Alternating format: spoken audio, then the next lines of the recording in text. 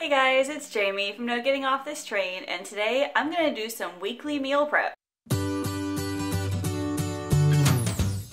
So if you guys don't do any kind of meal prep, I highly recommend it. So first thing, it saves money because you're not running out to the store or to the drive through to get more things to make meals because you have stuff already prepared. Number two, it saves time. How many times have you guys gone to make dinner and realize, oh, I have to chop all these vegetables or, you know, something similar to that?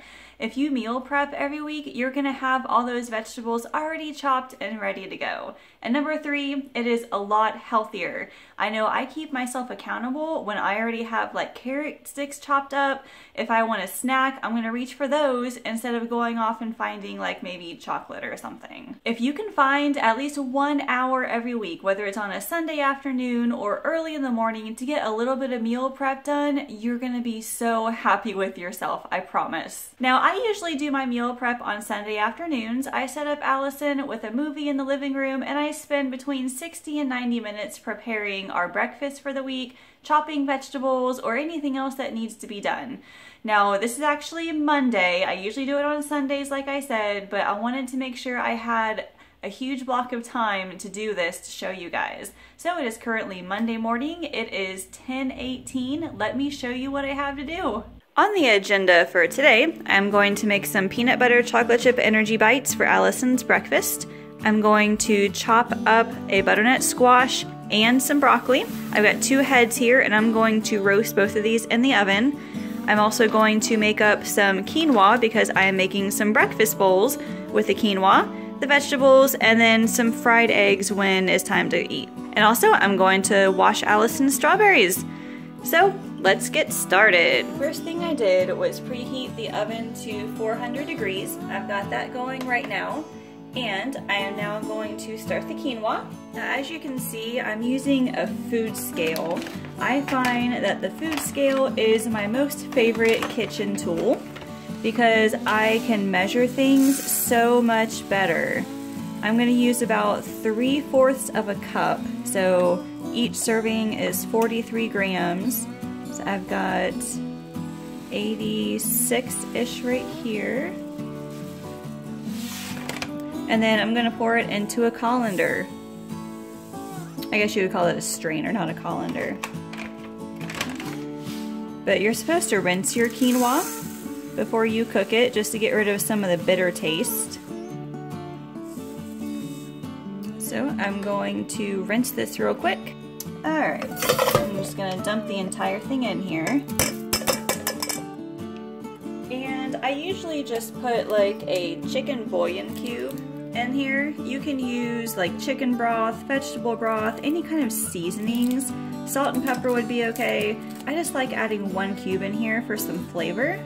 And then I'm going to fill this maybe a little bit past the one. I don't know if you can see that down there. But cooking quinoa in the rice cooker saves a whole lot of time. It is very hands off. So I will let this cook while I do everything else. That should be enough water.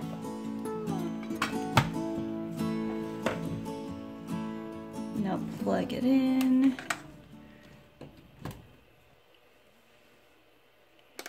I always cook it on the white rice function. The quinoa will take maybe 30 minutes to cook. We've got that going. Okay, this is my least favorite part of meal prep, and that is preparing the butternut squash. Now, it's not difficult to do, it just takes so long. But here is my favorite shortcut that I use for butternut squash. So first of all, make sure there's no sticker on it. Then you take a fork and you poke holes.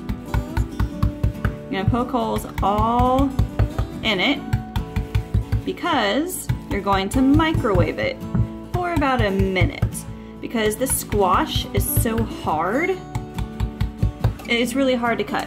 So I always microwave my squash for about a minute, minute and a half, and that'll make it at least softer enough that I can cut it with a large knife. So let me just microwave this real quick.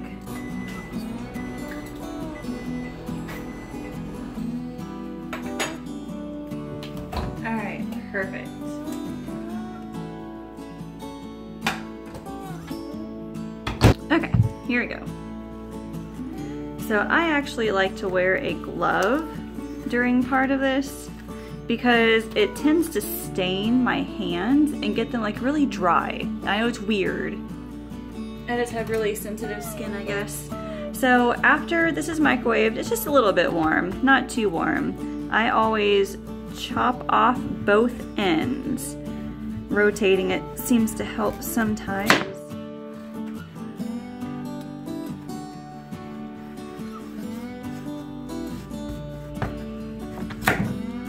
So set those aside. I keep the plate that I microwaved it on because I'm going to put all the seeds and the, on the outside of it on there. And then turn it upright. Then take your knife and just very carefully cut all the way down. It's a little more difficult than I thought.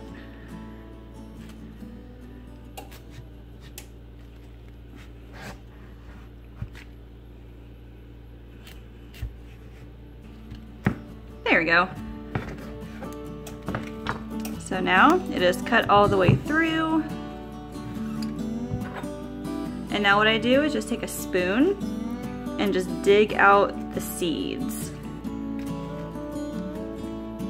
Usually if you scoop all around the outside, you can usually get all of them in the first try.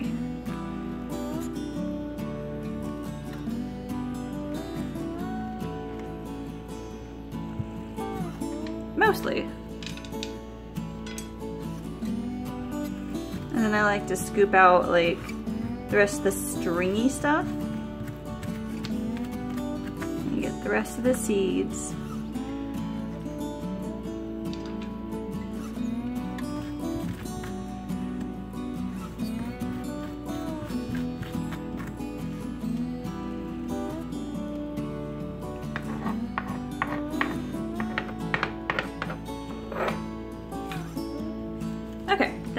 Done. Then you just do the other one. Now I really like butternut squash.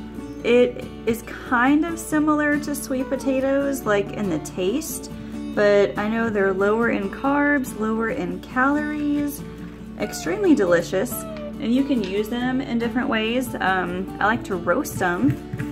I've roasted them with like cinnamon and honey or maple syrup before. I've also roasted them with garlic powder, chili powder, so you can use them in a couple different ways. Alright, now that I have taken out all the seeds, I will peel the outside.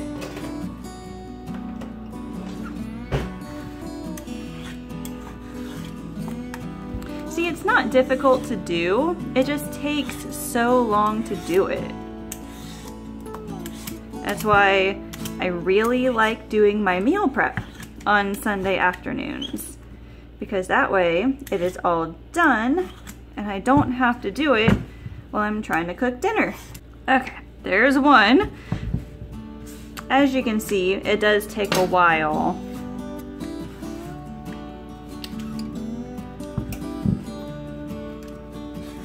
But it's all worth it. All right, squash is finally peeled. I just throw all the peelings back onto that same plate and I'll worry about throwing it all away later.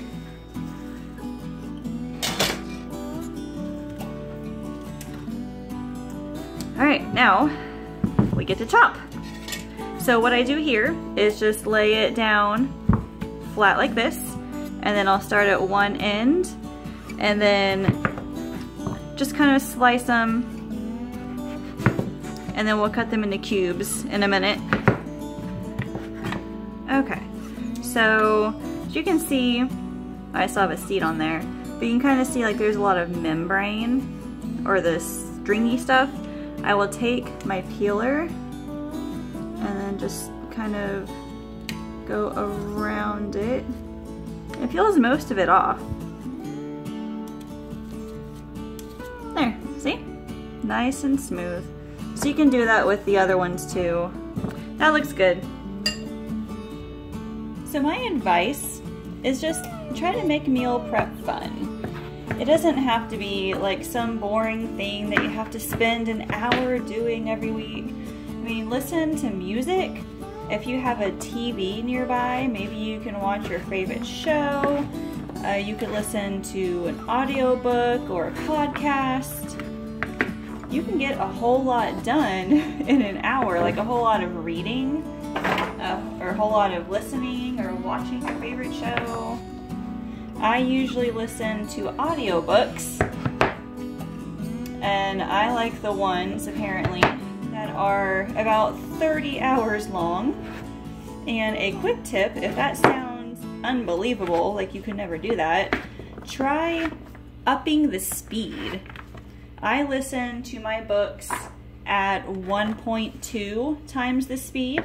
You could also do maybe 1.5 but I found that 1.2, it still sounds like the original speed, but it's just a tiny bit faster. And you'll be able to finish your book a lot faster. Now, with a 30 hour book, you're probably not going to finish it in a day. It usually takes me three or four weeks, something like that. And that also depends on how often I listen to it throughout the day. Because I will listen to it on my runs, places like that, when I'm driving somewhere, like without Allison. No matter what you decide, just try to make meal prep fun, so it's not boring. So right now, I have a cookie sheet over here that I have sprayed with cooking spray. once I finish chopping all of these, I will spray all of this again, the tops of them, and probably sprinkle some salt and pepper over top. Maybe some garlic powder, I don't know yet. Well, that took much longer than I would have liked. Um, like I said, I love butternut squash, but it takes so long to prepare. However, it's much cheaper to buy it whole and cut it yourself than it is to buy like a bag of frozen. So let me just spray the tops of this. You can use olive oil too, just to drizzle on top. I just prefer cooking spray because it's easier. And I'll sprinkle some salt and pepper. And then what I'll do is put the squash in the oven now, and I will roast it for about 30 minutes. Broccoli takes about 20, but I think 30 minutes would be good for the squash because at 20 minutes it's just kind of soft. So I wonder if 30 will make it a little bit more crispy. So we'll try it and see. Okay, next up is the broccoli. Thankfully, this will not take as long as the squash did, as you can see. I have already washed off the broccoli. So all I will do is just chop off right there. And then I like to just pull them apart like this. And then if it, this one looks like an okay size, but you can also like break it apart a little bit and then place it on your cookie sheet. I've already sprayed this cookie sheet as well. So I've been trying to get a lot more vegetables in my diet recently, especially now that I'm running again and doing some weightlifting. I am aiming to get five or six servings of veggies a day, which a serving is about a cup. So I need a lot of veggies. And I don't necessarily like eating vegetables as a snack. Like I'll eat carrot sticks and hummus or with guacamole or something. But I just don't like eating raw vegetables for snacks. So I try to fit them in during my meals, which means I will need about two cups of veggies per meal so this right here will give me what I need for breakfast. And you don't have to use butternut squash and broccoli. I mean, you can find your own favorite vegetables. You can use cauliflower. I'm also putting spinach in mine too, but I'm not roasting the spinach. Really, whatever vegetables that you like, it'll work in a breakfast bowl. Okay, that was pretty simple. I'm just gonna spray these again Add some salt and pepper on top of these.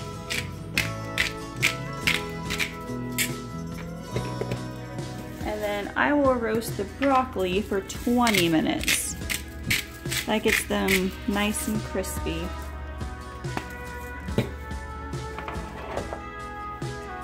And now that we've got those in the oven, the quinoa is just about done. It says it's got about 12 minutes left. So now I'm gonna work on the peanut butter energy bites. I'm gonna start, this looks like about a fourth cup. I'm gonna start by chopping up these chocolate chips.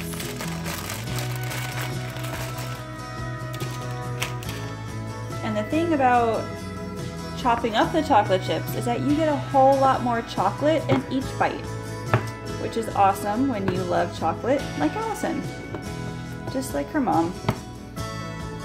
I'm just roughly chopping them up into pieces. They don't have to be really tiny or super exact. Okay, that looks fairly good. Let's grab a bowl. Alright, here's our bowl. Just pour the chocolate chips in there. Awesome. And now we need some peanut butter. I like using the natural peanut butter because it's just got peanuts and salt. I don't necessarily need all that sugar for Allison.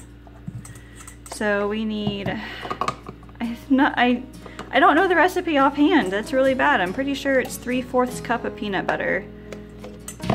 And I don't think I have enough in this jar. So I'm gonna have to open up the other jar.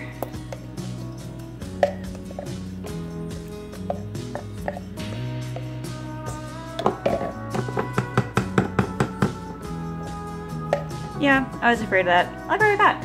Here's the problem with having just all natural peanut butter is that you have all the oil on top when you first open it. So that means when you first open a package of all natural peanut butter, you gotta stir it. And you gotta stir it for probably a few minutes. See? There's all that oil in there. So you gotta get it all mixed together. Give me just a second here. Alright. It didn't take too long. Now it looks really runny, when you put it in the fridge for a while, it starts to harden up a little bit. That's the beauty about the natural peanut butter. It does get really oily. Um, once it's in the fridge, it does get a little bit firmer. Okay, that looks about right, I think. Let's try this again. So add 3 fourths cup of peanut butter And then I believe one third cup of honey. I actually have the recipe here on YouTube and I will link to that in the description. So I'll see later if I'm right. But I mean, it's a really simple recipe. You can't really mess up energy bites. If you use a fourth cup instead of a third cup of honey, it'll be okay. Use a little extra peanut butter, a little extra oats. There's that. Now all we need are oats. We need one and three fourths cup of oats. And I'm just about out of rolled oats. We gotta add them to the grocery list. Now, all we do is stir. And the good thing about peanut butter that has been out of the fridge it's a whole lot softer, which means it's a lot easier to mix. If you have peanut butter that's a little bit firmer and just won't mix very well, put the peanut butter and the honey in a bowl and put it in the microwave for like 10 seconds at a time and that will soften up the peanut butter and make it much easier to mix. Alright, it's currently 11.05. We started at 10.18. I don't know if I'll make it in time, but we'll see. Alright, I had to make some room real quick, but I managed to do it. I'm gonna freeze these energy bites actually. So I'm gonna put, take this cookie sheet, put some parchment paper on it.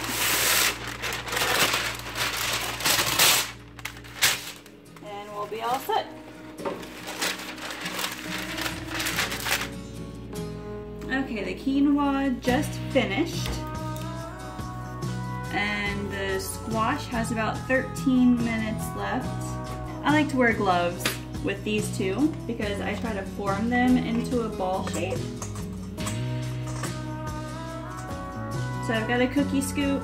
I just scoop it into my hand and then kind of form it a little bit. And put it right down here. Now it's a little sticky, so another trick I've learned, you can either um, put water, like sprinkle water on your hands, or just take some cooking spray and just kind of spritz your hand a little bit, and that tends to help keep it from sticking to your hand. Now these energy bites are freezer friendly. Like I said, I've got a link to these down below to the video, and it's got the entire recipe on there. I actually think these taste better frozen because the chocolate chips are harder and I kind of like that crunch. Allison seems to like it that way too. And what I will do this week for her is give her, I don't know, maybe two or three of these. Um, I put all the ingredients into MyFitnessPal and each one is like, I don't know, 80, 90 calories. I'm not counting calories for her, it's just for my own purposes. So I'll give her two or three of these, and then I bought some Yoplait yogurts. She loves yogurt, as do we all. So I bought a few for her to enjoy this week. So the peanut butter and the oats will give her some good like fat and protein. The yogurt will have some protein in it. Hopefully this will be a good filling breakfast for her. And a little bit better than cereal maybe. She's been eating cereal for like the past couple of weeks. Hoping she won't get tired of it. Okay, they're sticking to my hand again. Try a little bit more. Alright, I made these a little bit bigger than I usually do, I think because this is supposed to make like 20 or 21 and I got 18, so no big deal. I will put these in the freezer here in a little bit. So let me work on the strawberries real quick before the, the squash comes out.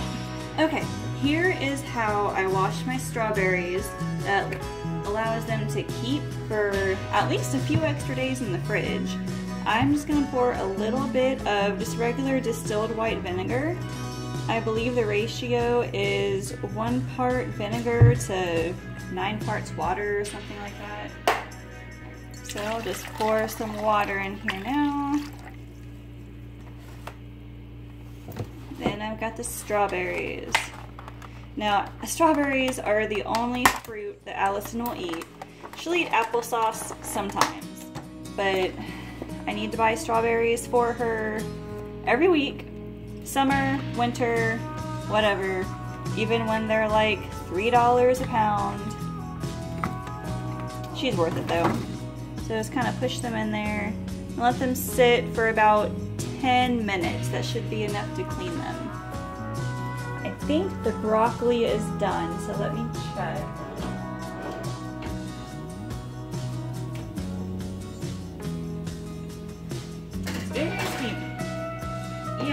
Broccoli looks done.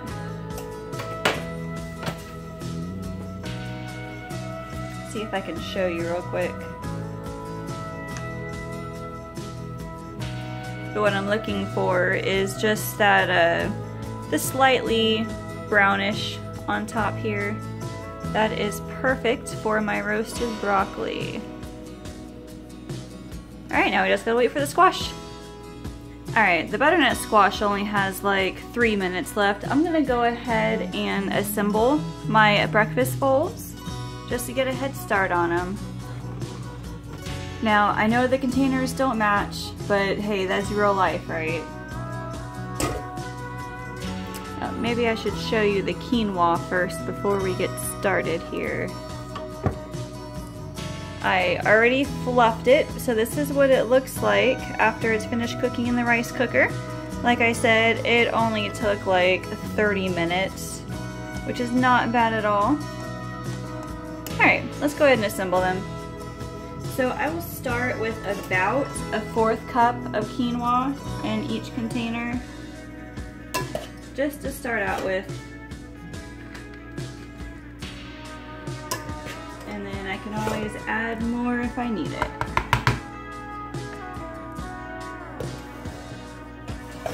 A little bit of quinoa goes a long way too. Like, did you see when I uh, when I first made it? Like, it wasn't a whole lot uncooked. But once you cook it, it totally expands like this, which is pretty awesome.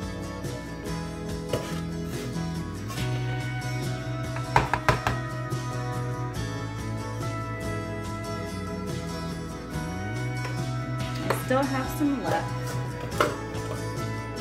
So I'll just kind of put the rest in there as evenly as I can. Alright, cool. So there is the quinoa. Let me show you the squash real quick.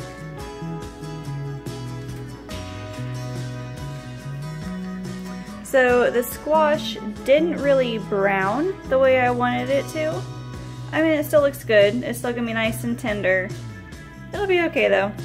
Let's go ahead and put all the veggies on the bowls. I'm gonna add one cup of butternut squash to each bowl. Look at all those veggies. All right, now for the broccoli. I don't think I'm gonna have enough for a full cup of broccoli in each bowl. So let me try to portion it out and then we'll see. Yeah, I have one left, so I think what I'll do, just take a little bit from each one.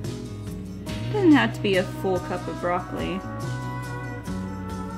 All right, that looks perfect. So what I'm gonna do is let these cool, and then I'll put the lids on them, put them in the fridge, and then when it comes time to eat in the mornings, I'll just heat one up in the microwave, and I will fry some eggs. I like mine over easy, so I'll fry up two or three eggs and then put it on top and just eat it for breakfast. This is gonna be so huge and so filling. It's gonna be awesome. So those are my breakfast quinoa bowls. I believe the strawberries are finished, so let's go drain them real quick. So all I do with the strawberries after they're finished is just pour them into a colander and then I will just rinse it off with cold water just to get the vinegar off it. And then I will lay them on a large towel to dry and then I'll put them in a container and stick them in the fridge. Here is the aftermath of my meal prep session. I was able to make six breakfast quinoa bowls with quinoa, butternut squash, and broccoli. I washed one pound of strawberries. It is now drying. And I made 18 peanut butter chocolate chip energy bites for breakfast. This is what's left over of the butternut squash. I will probably just heat it up later and eat it as a side item with something. I am not sure what yet. The current time is 11.29. I said it would take an hour. It took about an hour and 10, 11 minutes which is really not bad, especially with all the camera changes and things like that. So thank you guys for hanging out. Thank you so much for watching my one hour meal prep session. I hope you're now inspired to start your own one hour meal prep sessions every Sunday, whenever you have time to do it. As you can see, we're all set for breakfast and it's going to be awesome. Now, if you have any other suggestions on what you want to see me make for my meal prep sessions, leave me a comment and let me know.